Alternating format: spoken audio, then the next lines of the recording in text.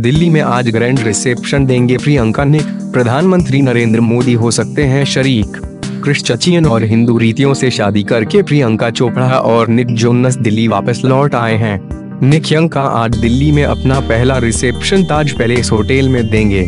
कहा जा रहा है प्रियंका ने प्रधानमंत्री नरेंद्र मोदी को रिसेप्शन का न्योता भेजा था। ऐसे में उनके शरीक होने की उम्मीद जताई जा रही है। इसके अलावा करीबी रिश्तेदार और दोस्त भी शामिल हो सकते हैं। खबरों की माने तो निकी अंका दिल्ली के बाद दूसरा रिसेप्शन मुंबई में देंगे।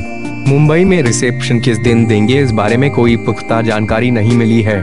कहा जा रहा है कि मुंबई रिसेप्शन में प्रियंका और निक पूरे बॉलीवुड को इनविटेशन भेजा है। प्रियंका चोपड़ा और निक जोनस ने जोधपुर के उमेद भवन पैलेस से शादी की थी। प्रियंका निक की संगीत सेरेमनी और मेहंदी की तस्वीरें तो पहले ही सामने आ गई थी। हालाँकि फैंस को अब इस न्यूलीवेड कपल की शादी की तस्वीरों का बेसब्री से इंतज़ार है। जोधपुर एयरपोर्ट पर प्रियंका चोपड़ा और निक जोनस को देखने के लिए फैंस की भीड़ एयरपोर्ट पर उमड़ पड़ी। प्रियंका के साथ उनकी जेठ जेठानी जो और सोफी भी थे। इस दौरान प्रियंका सी ग्रीन कलर की साड़ी में नज़र आई। प्रियंका ने मांग में सिंदूर, गले में मंगलसूत्र और हाथ में चूड़ा पहना हुआ था, जबकि ने कैजुअल लुक में नज़र आए। फैंस को देख प्रियंका और निक दोनों ने हाथ जोड़ सबका अभिवादन किया।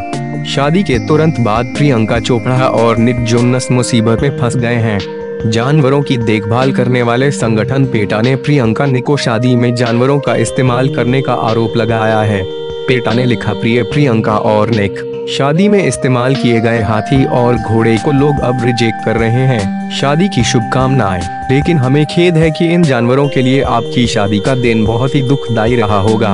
आपको बता दें पेटा इंडिया ने सोमवार को अपने आधिकारिक ट्विटर अकाउंट पर इसे पोस्ट किया है। खबर है कि निक घोड़े की सवारी कर बारात लेकर पहुँचे थे। पशुओं के साथ नैतिक व्यवहार के पक्षधर लोग people for the ethical treatment of animals यानी पेटा के इस पोस्ट को सोशल मीडिया पर भी समर्थन भी मिला रहा है, जिसमें एक वीडियो के साथ उसका टाइल बैंड बाजा ब्रूटैलिटी रखा गया है।